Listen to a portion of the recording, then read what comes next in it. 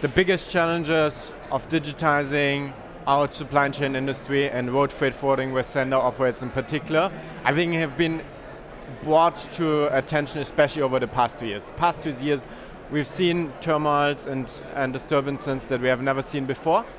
And I think that showed very clearly what is lacking. On one hand side, we have the shippers uh, who are looking to overcome their supply chain interruptions, who are looking to overcome their cost pressures from inflation, from energy shocks, from general internal improvement measures. And the other side, you have a very fragmented carrier base, especially in road where Sennder's operating, that is trying to build stability, predictability, and planability in their daily operations. And bringing these two sides better together requires technology. And this is also the reason what inspired me and my co-founders to start Sennder in the first place, to actually, let's say, improve this industry for a very little point, make this industry a little bit greener and a bit more effective overall.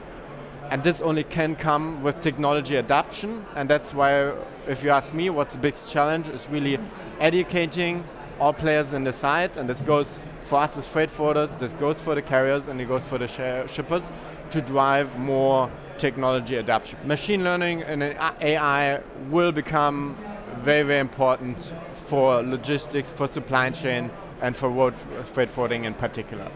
And the reason is, in order to improve what I just said in my previous question, to, to improve, let's say, the different expectations and the collaboration and the transparency across uh, the entire supply chain. We need to have deeper insights in real-time visibility and what are the consequences on this. And this can only happen with a better use of data and with a stronger inclusion of machine learning and AI to really drive the insights to really drive the predictions, what happens if something not goes wrong but changes in the supply chain, what is the consequences that all the other involved parties have, and this will only come with AI, with machine learning, with better use of our data that we all collect in this uh, industry already today. We connect large-scale enterprises, multinational companies, with small, and medium-sized trucking companies in road freight who generally own 5 to 50 trucks. That's more or less in our sweet spot. And what we're seeing in our industry is that there's a huge waste of capacity in this industry, whereas capacity already over all of the past years has been a bottleneck due to driver shortage, due to slower vehicle production, and so on and so forth. We have roughly 25% of, let's say, kilometers driven empty. We have a lot of, let's say, lacking drivers, and this can only be done through data, and this can only be done through resolving transparency. And this is where Sennder comes in we want to provide both sides of, let's say, visibility on their data, on their operations, help both sides to improve um, their respective operations and find the best match between demand and supply to reduce these efficiencies, to basically reduce these capacity shortages. We'll not solve them, but we at least want to improve them.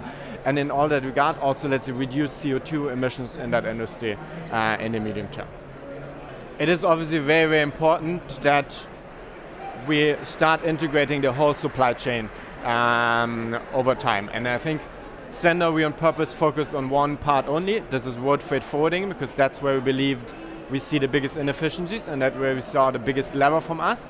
But obviously, we're one part of this entire supply chain that entails warehousing, air, sea, ocean, you all named them already.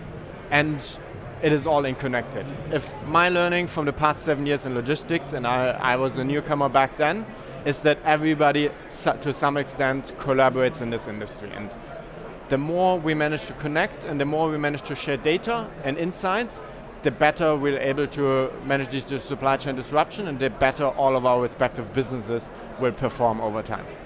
I think today it's very little. And that is the case because we have very, let's say, siloed places of the supply chain, which optimize themselves. And this is good, and this has worked well for the past years. But I think going forward, we need to build greater integrations across these silos. And so today, in my opinion, data, machine learning, and AI plays a very small role, and Sennder wants to be an active part on actually making this bigger. But everybody talks about it today, very little can apply it because we're lacking the cross supply chain uh, data sharing today. So I feel over the next five, ten years, this will grow significantly, and it needs because it needs to grow, because we are having capacity shortage, and we are not see, or we continue to see these supply chain disruptions. Hopefully at a smaller scale, but they will continue to exist. And this data is the only solution to that, and that's why I'm strongly convinced, I'm a strong advocate, to further driving data learning through machine learning, through AI uh, over the next years. Everybody already has a demand for it, everybody has a preference for it, and then now it's on us to actually build the backbone to also make the investments that are also part of this, and the collaboration that needs to be part of this, uh, to actually drive the database that we need to build before we can actually really apply machine learning and AI. And this works for us at Sennder, this already works already on our small scale, but I think we need to make this bigger across the entire industry and across the entire supply chain.